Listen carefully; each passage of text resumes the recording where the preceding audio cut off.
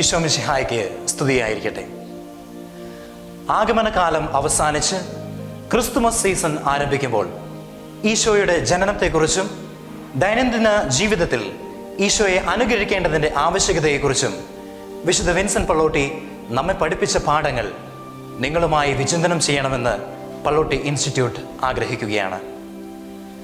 ഈശോയുടെ ജനനവും ശൈശവവും നാം എല്ലാവരും അനുകരിക്കണമെന്ന വസ്തുത പള്ളോട്ടി ഊന്നി പറയുന്നു. വിൻസൻ പള്ളോട്ടി നമ്മുടെ മുൻപിൽ വയ്ക്കുന്ന നാം പിന്തുടരേണ്ട അടിസ്ഥാന നിയമമാണ് ഈശോയുടെ ജീവിതം.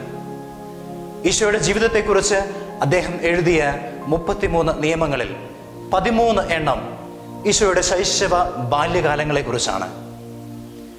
എളിമ അനുസരണം ദാരിദ്ര്യം ത്യാഗമനോഭാവം ഇവയുടെ ഉത്തമ ഉദാഹരണമായാണ് ഈശോയുടെ മനുഷ്യാവതാരത്തെ അദ്ദേഹം കണ്ടത്.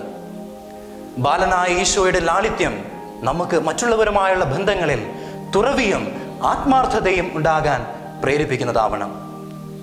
യുദ്ധം തീവ്രവാദം നിർബന്ധിത കുടിയേറ്റം ഇവ മൂലമുണ്ടാകുന്ന മനുഷ്യജീവിതത്തെ സാരമായി ബാധിക്കുന്ന പ്രശ്നങ്ങൾ പരിഹരിക്കാനുള്ള നമ്മുടെ ഉത്തരവാദിത്വത്തെ ഈശോ നമ്മെ ഓർമ്മിപ്പിക്കുന്നു. ഈശോയുടെ മനുഷ്യ അവതാരത്തെക്കുറിച്ച് ബെനഡിക്റ്റ് പതിനാറാമൻ പാർപ്പാപ്പ പറയുന്നത് ഇപ്രകാരമാണ്. നമ്മുടെ രക്ഷകന്റെ ജനനത്തെ ആരാധിക്കുന്നത് നാം നമ്മുടെ ജീവിത ആരംഭത്തെ ആഘോഷിക്കുന്നതിന് തുല്യമാണ്. നമ്മുടെ ജീവന്റെ ഉറവിടമാണ് ക്രിസ്തുവിന്റെ ജനനം. ശിരസിന്റെ ജനനം സഭയാകുന്ന ശരീരത്തിന്റെ ജനനവുമാണ്. ലോകത്തിന്റെ ഏത് ഭാഗത്തായിരുന്നാലും ക്രിസ്തുവിൽ പുനർജനിച്ച ഏത് വിശ്വാസിയും തന്റെ പഴയ വഴികൾ ഉപേക്ഷിച്ച് ഒരു പുതിയ മനുഷ്യനായിട്ട് മാറുകയാണ്. ഈശോ ദൈവപുത്രനായി അവതരിച്ചത് നമുക്ക് ദൈവത്തിന്റെ മകനും മകളും ആകാനുള്ള അവകാശം ഉണ്ടാവേണ്ടതിനാണ്. അദ്ദേഹം തുടർന്ന് പറയുന്നു ക്രിസ്തുവിന്റെ ജന്മദിനം സമാധാനത്തിന്റെ ജന്മദിനമാണ്. അതിനാൽ തന്നെ സമാധാനവാഹകരാകാതെ ക്രിസ്ത്യാനിക്ക് ഒരിക്കലും ക്രിസ്തുമസ് ആഘോഷിക്കുവാൻ സാധിക്കുകയില്ല. നമ്മുടെ അയൽക്കാർക്കും കൂട്ടുകാർക്കും മധുരം വിതരണം ചെയ്യുന്നത് ലോകത്ത് പ്രത്യേകിച്ച് നമ്മുടെ ചുറ്റുപാടിൽ സമാധാനവും ഐക്യവും പുലരാനുള്ള നമ്മുടെ ഉള്ളിലെ വാജ്ഞയാണ് പ്രകടമാക്കുന്നത്.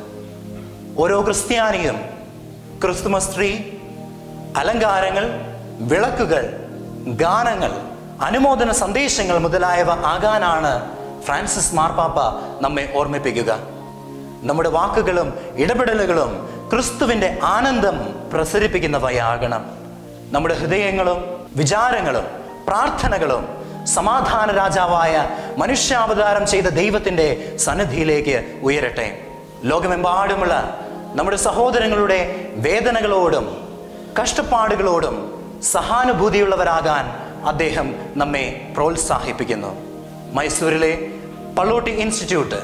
നിങ്ങൾക്കെല്ലാവർക്കും വളരെ സന്തോഷവും ദൈവകൃപയും നിറഞ്ഞ ഒരു ക്രിസ്തുമസും നന്മ നിറഞ്ഞ ഒരു പുതുവത്സരം രണ്ടായിരത്തി ഇരുപത്തി മൂന്നും ആശംസിക്കുന്നു.